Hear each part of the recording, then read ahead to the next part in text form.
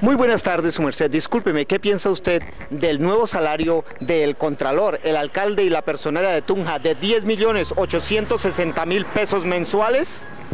Pues yo pienso que relativamente ellos sí tienen un buen sueldo y no se les ve el progreso, o sea, le quitan la plata al pueblo para llenarse. Así de sencillo. Muchas gracias. Discúlpeme, ¿qué piensa usted acerca del aumento del salario para el señor alcalde, el contralor y la personera de Tunja por una cantidad de 10 millones 860 mil pesos mensuales? Es que no conozco qué es esa cantidad de dinero. creo que pues está muy elevado. Debía también pensar en, los pobres, si, uno se merecía el, salario que, ellos le dan a uno. Muchas gracias. Pues sí, no, pues yo pienso que, que eso va a depender del trabajo que ellos hagan, ¿no? Si de verdad hacen un trabajo bueno, pues por la misma ciudad y por, por el progreso de la misma, pues el salario es justo, siempre y cuando el trabajo sea bueno. Si no, entonces es un salario muy justo, mal invertido y no vale la pena. Muchas gracias. Pues como se ve en la ciudad, hay mucho más en que invertir que en el sueldo de, de ellos que se supone que ganan bien. Creo que deben invertir más en cosas para la ciudadanía que en los sueldos de los funcionarios que no se merecen realmente porque no estamos viendo los resultados de, del gobierno en ese momento. No, pues lo mismo de siempre, el, el, robadero tenaz de los políticos. Ellos son los que siempre ganan y nosotros el, el, pueblo somos los que llevamos del bulto. Al menos utilizaran eso para arreglar las vías, pille cómo están, o para poner seguridad en los campos donde debería estar, pero imagínense ganando toda esa plata y, y, ponen, de pronto van y ponen un bachiller que ni siquiera tiene un derecho a un mínimo, ¿sí? que está prestándole un servicio a la sociedad. Entonces ellos que, que, que son electos por el pueblo, vienen y, tienen que recibir una mano de, o sea, es obvio que todos los ciudadanos le pagamos a ellos el sueldo, pero entonces, o sea, lo de, lo de, lo de todo, lo de lo que ha sido siempre la historia ha sido siempre ha sido un, robadero tenaz de, los políticos para nosotros los del pueblo. Ya exagerado. Hay gente que sobrevive con un mínimo y ellos con demasiado sueldo. Muchas gracias. Buenas tardes, señor. ¿Qué piensa usted acerca del nuevo salario mensual del señor alcalde? El señor Contralor y la personera de Tunja por una cuantía de 10 millones 860 mil pesos mensuales? Uy, no, me parece muy malo, porque, porque no, no se puede pagar nada y cada día es peor. La situación en el país está delicada y, y muchas cosas, muchos muchos robos, muchas cosas. Sí, una pregunta. Discúlpeme su merced su opinión acerca del nuevo salario del alcalde de Tunja por una cuantía de 10 millones 860 mil pesos mensuales. Un salario igual al del contralor y la personera de la ciudad. 10 millones de pesos mensuales. Virgen Santísima gana más que un presidente el hombre. Virgen Santísima, hermano, mucha plata para ese mancio. No, pues ¿qué opinamos nosotros, hermano? Pues la opinión mía es, primero que todo, es mucho sueldo y segundo que todo, hermano. Ahí no tengo más que opinarle, señor. Muchas gracias. Me parece el absurdo más grande. Mientras estos zampones se llenan fuera de lo que se ganan extra y toda esa parte, mientras los artistas vivimos comiendo miércoles y en el estado de desgracia. Nuestros hijos tienen que soportar la miseria humana a que nos han condenado estos desgraciados politiqueros de oficio y de pacatilla. Voy a hacer una cita del maestro Guayasamín. Mientras nosotros los artistas tenemos que pensar en el tubo de óleo o los materiales para producir arte, estos y o la pastilla de chocolate para poder darles un desayuno compara por lo menos a los hijos que nos están muriendo de hambre. Qué desgracia de este país de mierda, como dice el Gabo. Es para que el pueblo tome conciencia. Me gustaría que esto salga como lo estoy diciendo. Eh, debería de fijarse el salario no como lo fijaron ahora en es, eh, así tan grande, sino eh, dependiendo de, la preparación y de la parte académica y de, la experiencia que tenga el alcalde.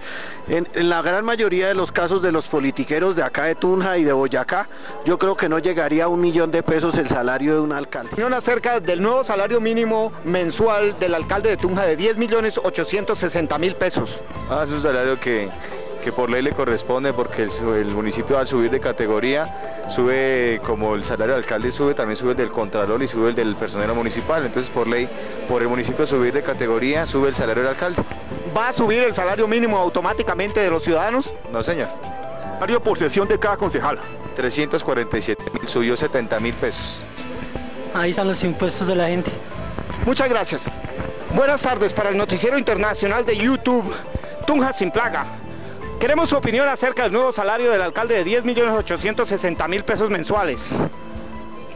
No debería pasar.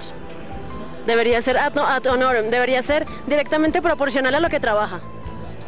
Muchas gracias, muy amable. El alcalde de 10 millones 860 mil pesos mensuales. Hijo, me la pone difícil.